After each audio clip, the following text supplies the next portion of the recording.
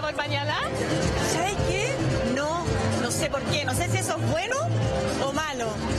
Pero me, me he reído tanto ha- haciéndolo que, que lo he pasado muy bien. Creo que me voy a poner nerviosa sin duda alguna antes de salir a escena, porque es obvio. Primera vez impresionando en esto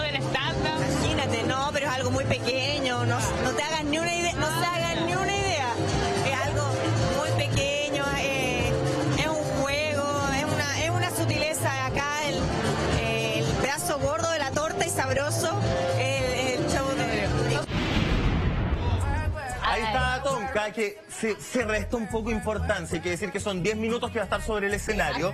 10 minutos que es harto, es harto. Y acá Rodrigo González en exclusiva nos contó algunos detallitos de, de este stand-up. Ah, Yo acá me empiezo a meter las patas porque se me, Ay. se me enreda lo que nos cuentan comerciales con lo que nos contó al aire. Entonces ahí Dilo después no podemos favor. conmigo. Pero sí me acuerdo que, que, que él, que él nos contaba que vamos a ver una Tonka hablando a Garabato.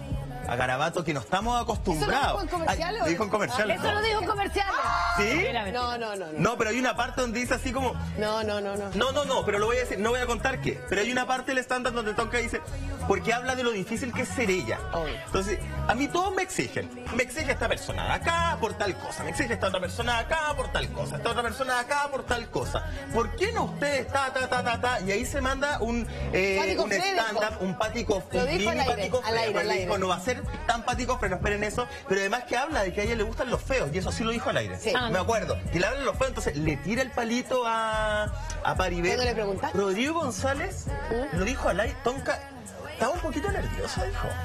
Dijo que estaba Le dijo ansiosa, que- nerviosa. Que Tonka lo había llamado, o se habían visto seguramente para uno de los ensayos, y Sí, le dijo, ensayado. no sé en qué momento se me ocurrió Eso. decirte que sí.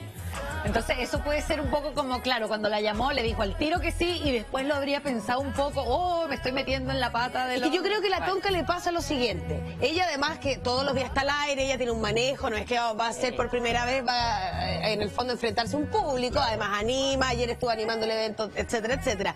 Yo creo que le pasa lo que le pasa a varias gente, actores principalmente, que son, van a enfrentarse a un público, pero hasta que llegue el minuto 90, hasta que llegue el mismo minuto donde estáis en el camarín, ahí te pones nerviosa, porque es más sano. ¿Para qué vas a estar nerviosa una semana si puedes estar nerviosa una hora antes nomás? Y en ese contexto, claro, ella eh, también puede controlarse, porque hay gente que no lo puede manejar, que está meses nerviosa. El otro día hablaba con la Alison Mandel, que tuvo también el espectáculo en el Café de las Artes, Brava. que se llama Brava, el 4 ahora de noviembre, y dice, no dormí en tres meses bien. Me despertaba, me despertaba, me despertaba, y bueno, y después del espectáculo, que le fue muy bien por lo demás, pude dormir de corrido. Así que yo creo que, claro, no sabe exactamente Tonka en lo que se está metiendo, Claro. porque no es, no es fácil tener la impronta de decir, hola, eh, voy a hacerlo reír. Eso es muy eh, peliagudo, pero yo creo que le va a ir muy bien. Una tonca no puede ser medida con la misma vara que otras comediantes. Claramente ella va a no llegar va a a ser una humorada eh, y, y además con el desplante que tiene, que, que viene, que tiene otros aditivos, que tiene que ver como con, con lo que se ponga, ponte tú, como, como es un sitio cercano, cerrado, con la gente que está allí como muy a flor de piel y, y contacto con la mirada muy íntimo. Ella tiene otros atributos para ganarse la gente también.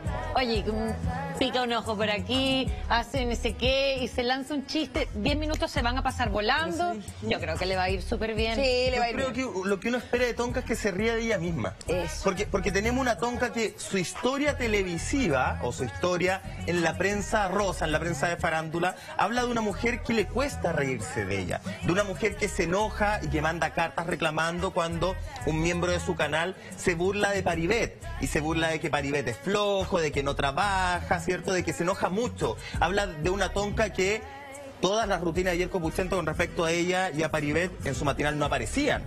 No, no, no se mostraba. Entonces habla de una tonca que es muy celosa de su vida privada y que le cuesta reírse de sí misma. Entonces, con que se ría de ella, con lo que nos adelantó Rodrigo González, yo creo que ya va a ser un éxito. Porque juega, porque sale de este lugar de seguridad. Ahora, Zona confort. Pero yo creo que sentir los nervios es rico también, es necesario. Ay, no si no estáis nerviosos porque entonces no te... Yo siento mi lógica que si no te da nervios porque ya la cuestión la soltaste y te da lo mismo.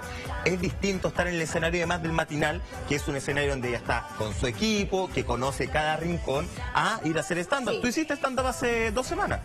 Con Sí. los Playmobil, ¿o ¿no? Ah, no, no, hice improvisación. Improvisación. Hice stand-up una vez siete minutos, se me hicieron eternos, siete minutos, yo voy a estar diez minutos, pero yo quiero ah, de- destacar lo que decía Mike, que en el fondo una cosa es que uno diga, pucha, mi mamá que es pesada, y otra cosa es que otro venga a decirte que tu mamá es pesada. Entonces lo que pasa con ella es que ella se puede reír de sí misma, otros no se pueden reír Pero de no sí la hemos misma. visto haciendo eso Por tampoco, eso es interesante, entonces- pero es muy diferente que venga Yerko Puchento, que venga no sé quién a hacerle bromas de su esposo, de su pareja y de ella misma, a que ella misma, de su propia boca, Vos misma. vos misma, Vos dale. vos dale, Dale. se haga cargo, digamos, de su biografía, que tiene que ver con, ustedes no saben lo que es ser Tonka Tomisic, tengo que estar estupenda, me levanto temprano, ustedes creen que mi vida es bonita, creen que mi vida es una maravilla, pero no, entonces mostrar como el- las desgracias y las miserias que de alguna manera es ser Tonka Tomisic, este rostro que por el momen- uno piensa casi, casi que no, Vida no le, no le duelen las muelas, como que no va al baño, como que, como que respira por osmosis, no sé, me Salen rosas de Se baño. despierta con Claro. buen aliento.